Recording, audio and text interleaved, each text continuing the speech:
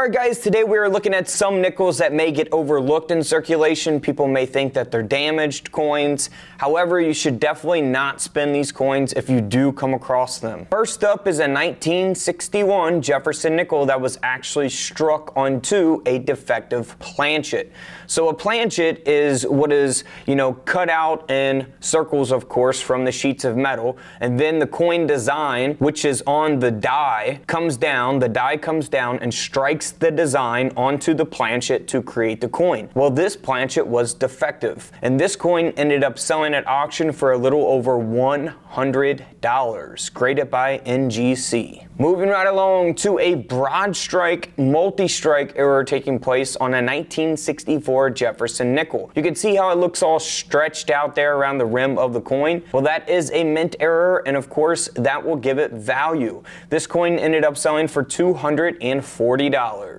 Moving right along to a 1969 Jefferson nickel that sold for $51 at auction. Looks very normal on the reverse, but here as we flip the coin over, you can see that the obverse of the coin has been struck through a capped die. So, you know, you could definitely find these in circulation. It's not like, you know, the rarest mint error to find or anything like that. I've found examples of these in coin rolls from the bank. You can look for these on pennies and other coins as well. $51 for that nickel. Now this next coin here is very, very awesome. It is a double strike taking place on a 1972 nickel. So 1972 nickels, very common coins. They're not rare to have unless you have like a top grade or a mint error like this. This coin sold for over $400 because the coin has been double struck with that being flipped over. So you'll see the design of the obverse on the reverse and then the reverse design here on the obverse of the coin as well.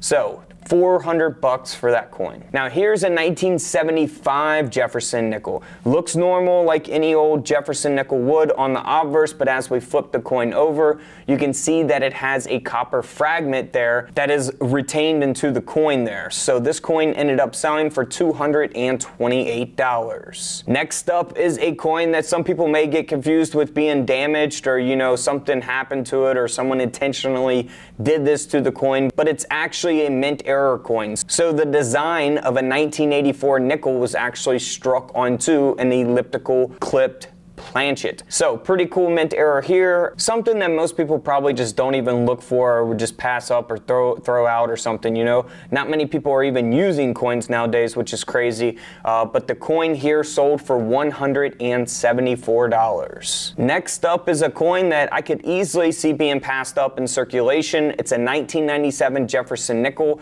This coin here has an improperly annealed planchet, and you can see that there in the images displayed.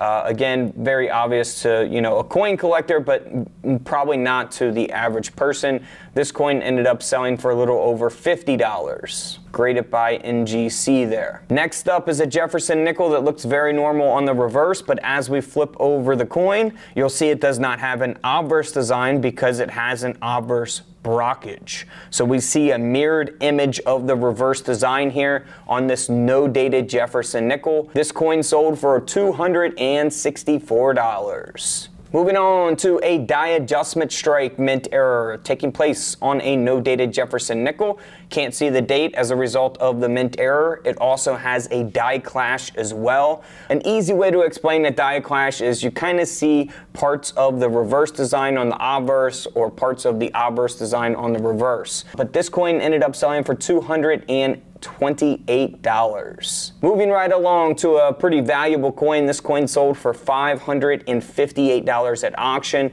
It's a Jefferson nickel design that was actually struck onto a silver 10 cent planchet. So they were creating silver dimes from 1964 and prior, and this nickel design was struck onto one of those planchets.